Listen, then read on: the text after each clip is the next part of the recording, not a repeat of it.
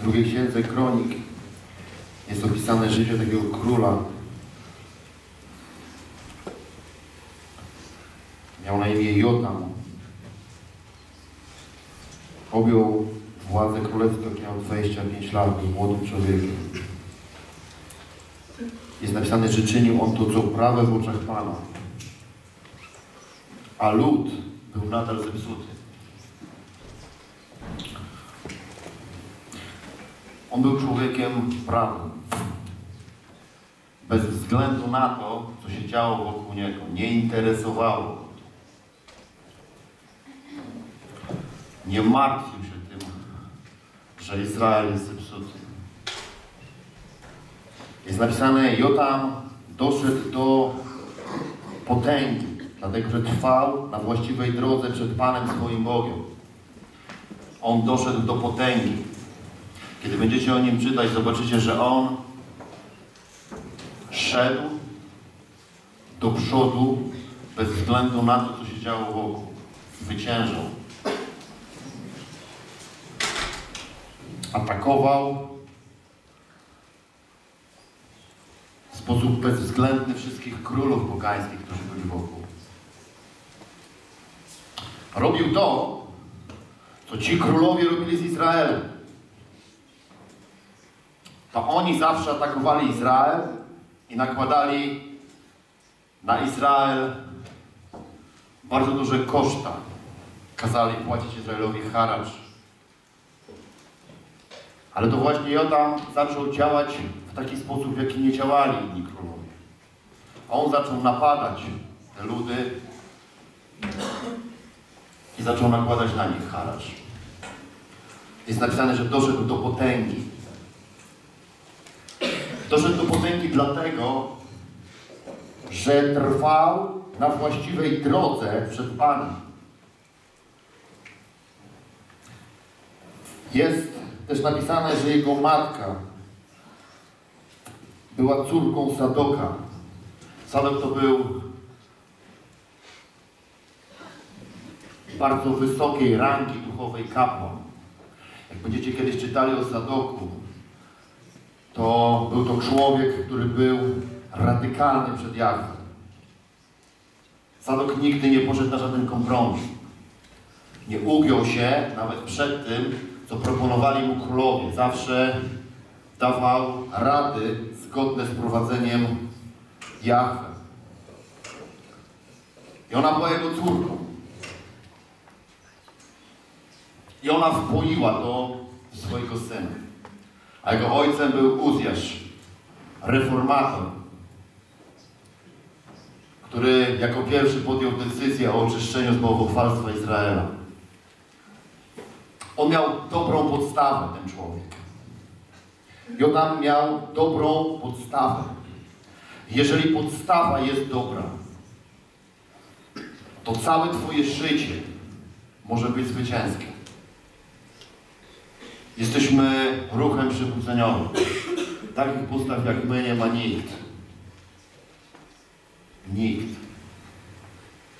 Tylko od nas zależy, czy wykorzystamy to na maksa, czy nie wykorzystamy tego na maksa. On to wykorzystał. I wszedł w potęgę. Jak będziesz się dzisiaj modlił, powiedz Panie Boże, ja jestem świadomy, że fundament, który posiadam, jest tak silny, że nie jest w stanie go nic załamać. Nic.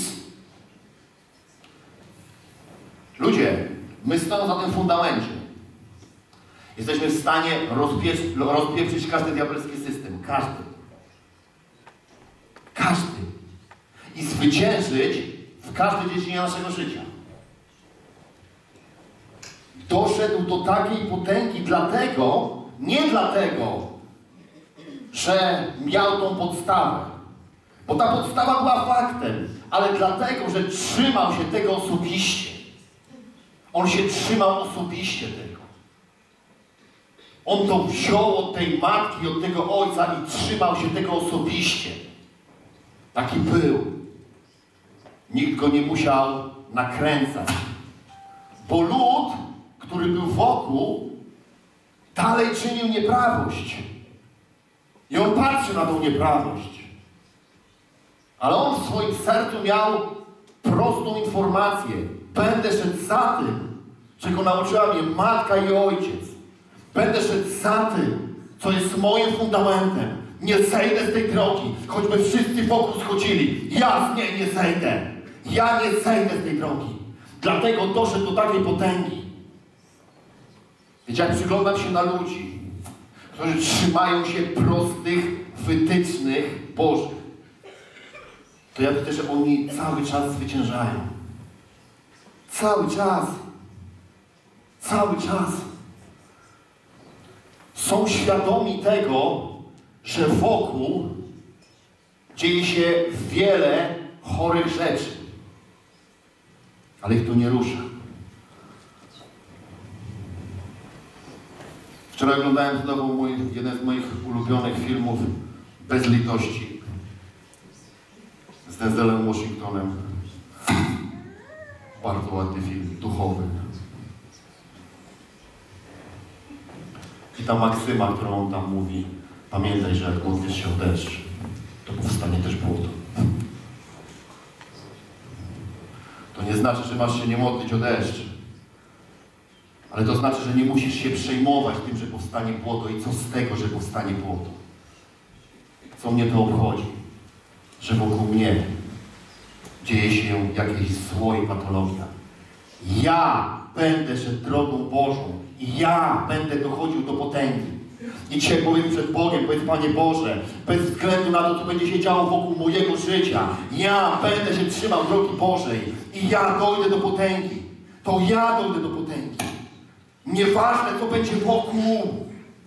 Nieważne, ilu będzie upadało. Ale ja dojdę do potęgi. Bo ja się trzymam drogi Bożej. I chcę, żebyś tak się modlił dziś. Niech to będzie Twoje, osobiste i prywatne. Ojcze, wywyższamy Ciebie za to, że jesteś Bogiem. Każdego z nas osobna. Boże, Ty nas zebrałeś w Kościół, ale Ty jesteś Bogiem każdego z nas osobna. Boże, my teraz osobiście deklarujemy naszą wiarę. I my ogłaszamy, że my nie zejdziemy z tej drogi, bo Twój Święty Duch jest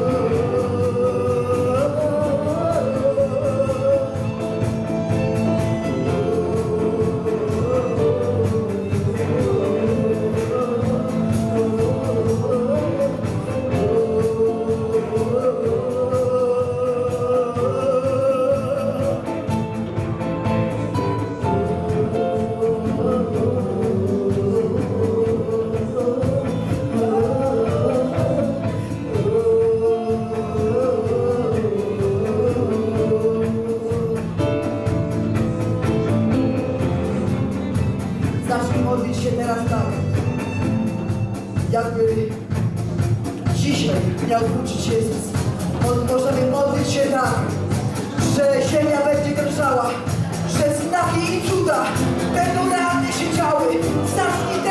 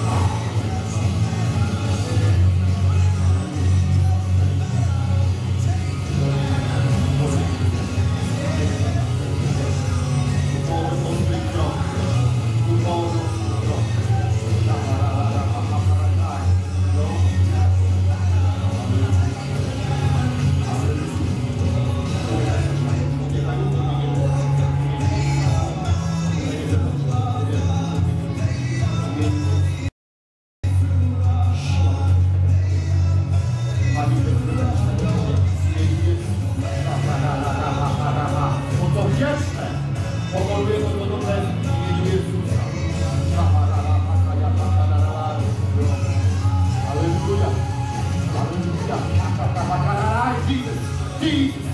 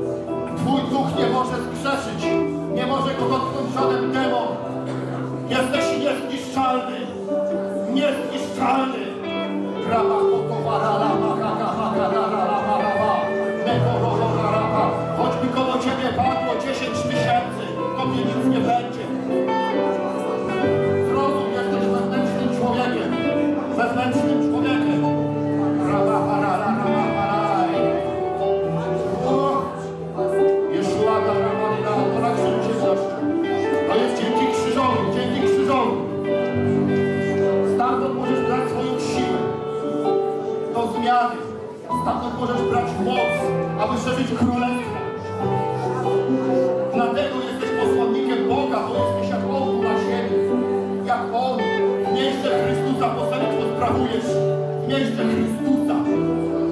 Dlatego też możesz zdłamać każdą demoniczną siłę, każde odrzucenie.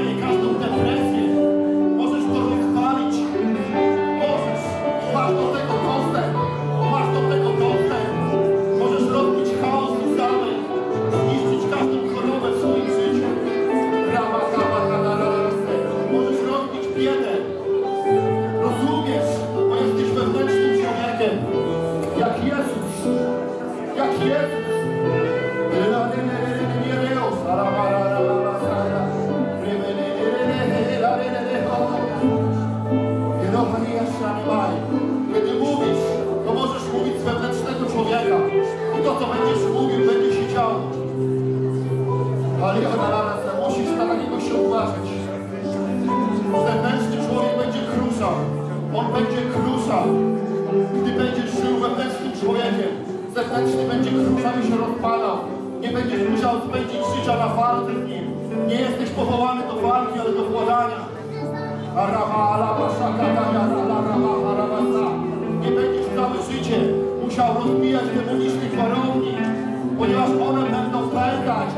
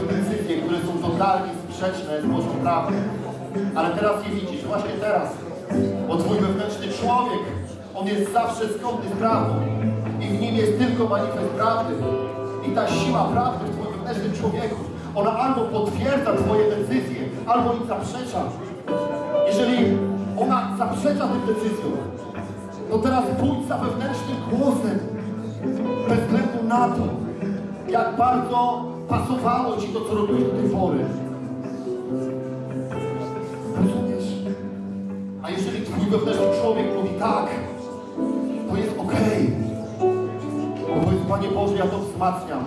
Jakub wzmacniam. Wzmacniam tą relację. Wzmacniam tą miłość. Wzmacniam tą służbę. Wzmacniam ten dar. Halleluja. Wzmacniam to działanie. Rapada sakata jara la Halleluja.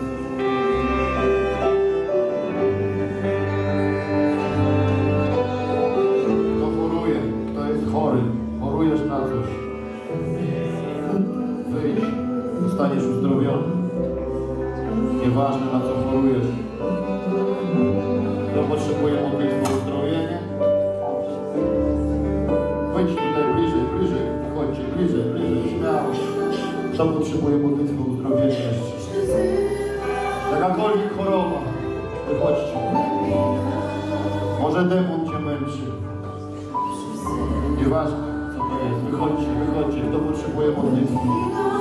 Kto potrzebuje modlitwy.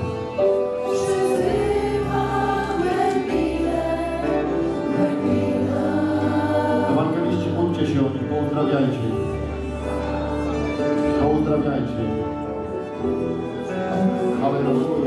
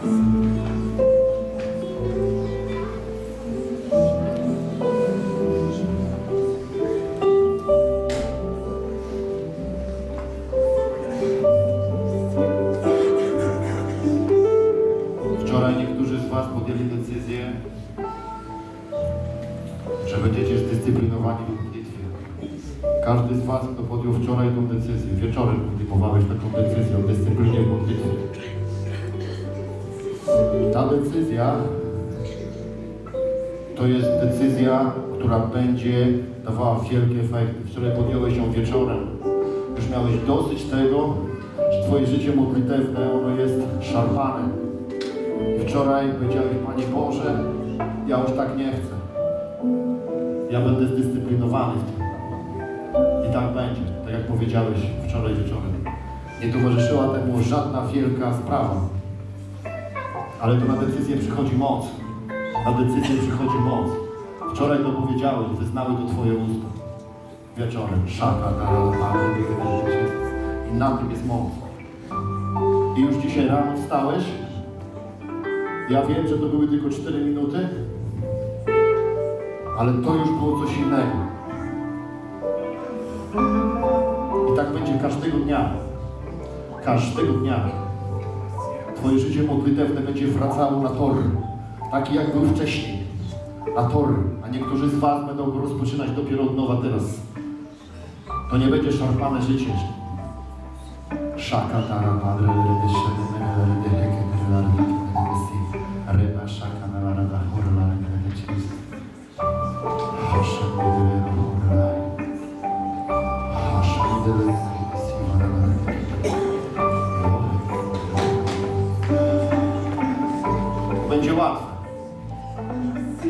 one.